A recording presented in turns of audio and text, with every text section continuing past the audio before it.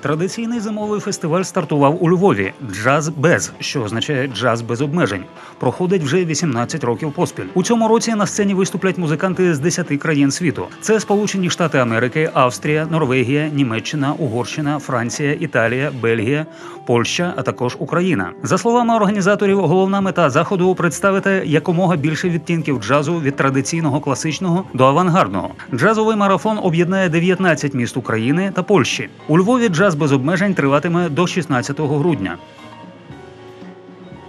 У нас немає правил в джазбезі, у нас немає дрес-кодів, в нас немає умовностей, і ви можете себе вести як хочете. Деколи бувають групи майже рокові, майже фанкові, майже диско, і всі кажуть, так вони ж не грають справжній джаз. По-перше, нема визначення, що таке справжній джаз, все дає імпровізація, це джаз. Наскільки я розумію, ем, батьківщиною джазу, джазу є Чикаго. Це, мабуть, найбільш е, розвинутий стиль, стиль, який проповідується власне на території Сполучених Штатів Америки в Чикаго. Взагалі подобається імпровізація, подобається гра саксофона, е, музичних інструментів. Подивимося, наскільки буде цікаво сьогодні.